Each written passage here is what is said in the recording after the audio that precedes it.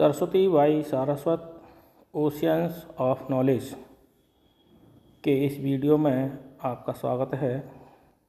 इस वीडियो में हम पाँच जगत वर्गीकरण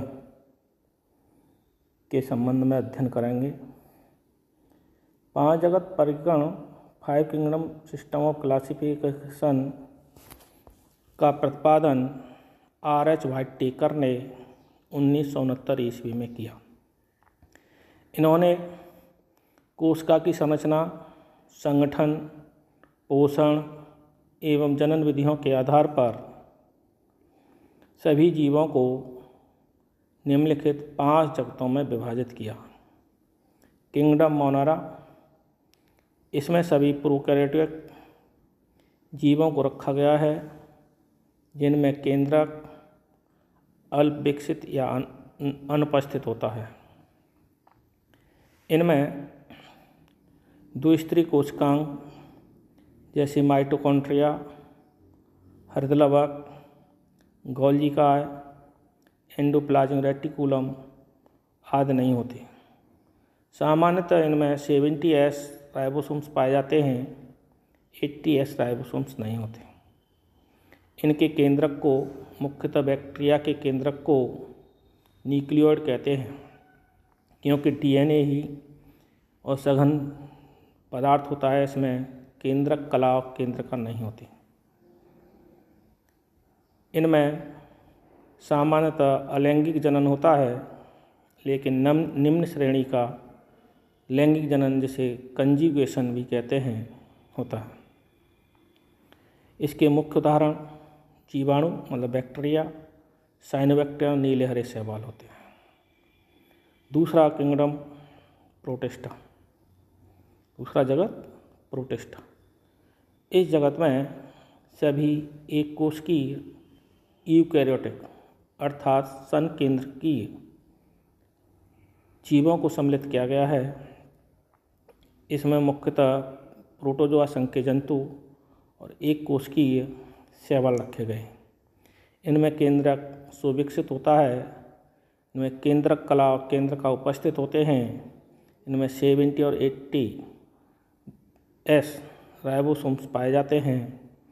इनमें जनन, लैंगिक एवं लैंग, अलैंगिक दोनों विधियों से होता है। इनमें मुख्यतः प्रोटोजोआ संख्य जंतु डायटम्स और डायनोफ्लोजेलेट्स मतलब एक कोष की ये शैवाल होते हैं। जैसे amoeba, proto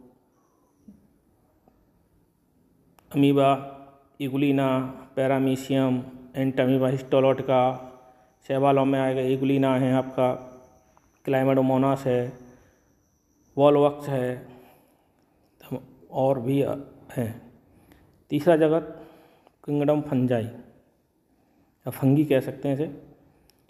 जगत कवक, इसमें बहुकोश की परपोषी यूकैरियोटिक पादपों को रखा गया है।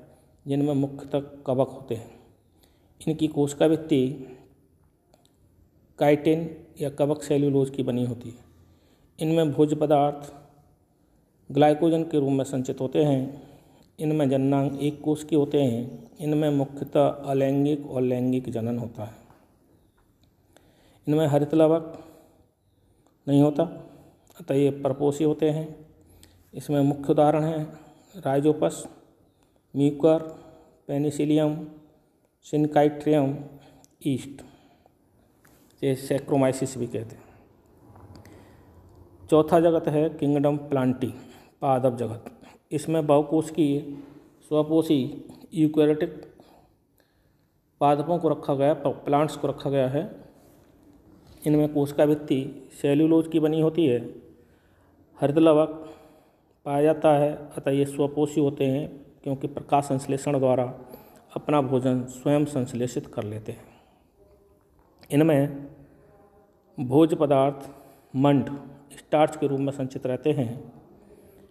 इस जगत में बहुकोश के शैवाल, ब्रायोफाइट, टेरिडोफाइट, जिम्नोस्पर्म एनजियोस्पर्म मतलब शैवाल, ब्रायोफाइट संघ के जंतु हैं, टेरिडोफाइट संघ के हैं, जिम्नोस्पर्म नग्नबीजी या अपुष्पी पादप एनजियोस्पर्म पुष्पी पादप या आवृतबीजी पौधों को रखा गया है। पांचवा जगत, किंगडम एनिमेलिया। या जगत जंतु। इसमें बहु बहुकोशिकीय यूकैरियोटिक परपोषी जंतुओं को रखा गया है। इनमें कोशिका भित्ति नहीं होती हृदलवक नहीं होता, लेकिन इनकी कोशिकाओं में सेंट्रियोल पाया जाता। इनमें भोज पदार्थ ग्लाइकोजन के रूप में संचित होता है। इनमें निम्न कोटि के जो बहुकोश की जंतु हैं, में अलैंगिक जनन और लैंगिक जनन होता है, जबकि उच्च कोटि के बहुकोश के जंतुओं में सामान्यतः लैंगिक जनन होता है। इस जगत में बहुकोश की जंतु जैसे पॉरीफेरा संघ coelenterata platyhelminthes nemathelminthes arthropoda, annelida, mollusca, echinodermata chordata संघ के जंतुओं को सम्मिलित किया गया। अब बात आती है कि इस जगत की क्या विशेषता है। तो पाँच जगत वर्गीकरण की विशेषता है। मतलब merits of five kingdom system of classification तो इसकी विशेषताएँ इस प्रकार हैं। नंबर एक, इस वर्गीकरण में प्रोकैरियोटिक्स और यूकैरियोटिक्स। एक कोष की जो जीव हैं, उन्हें अलग अलग जगतों में रखा, किंगडम्स में रखा गया है। दूसरी विशेषता यह है, ये प्राकृतिक और सिस्टेमेटिक विकास को प्रदर्श करता है जंतु पादपों तीसरी विशेषता यह है इसमें एक कोशिकीय यूकैरियोटिक जंतुओं को अलग जगत प्रोटेस्टा में रखा गया। चौथी विशेषता ये है कि इसमें कवकों मतलब फंगस या फंगी को अलग किया गया, स्वपोषी पादपों से मतलब अलग जगत, कवक जगत में रखा गया। अब पाँच जगत वर्गीकरण की कमियाँ मतलब demerits of five kingdom system of classification इसमें ध्यान दें, नंबर एक पाँच जगत, पाँच जगत वर्गीकरण की जो कमियाँ हैं डीमेरिट्स हैं, वे क्या हैं?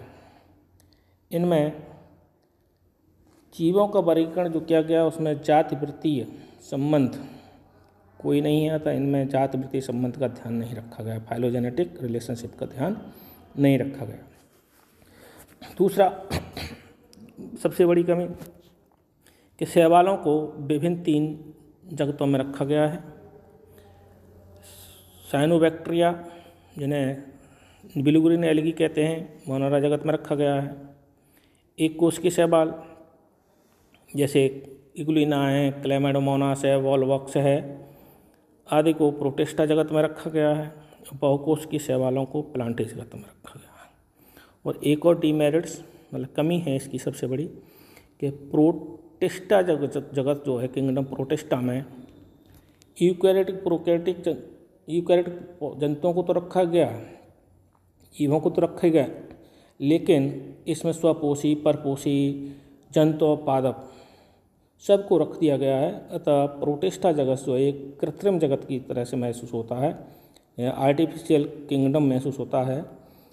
इसी के साथ इस वीडियो में हमने पाँच जगत वर्गीकरण के संबंध में जो अध्ययन करना था, वो किया।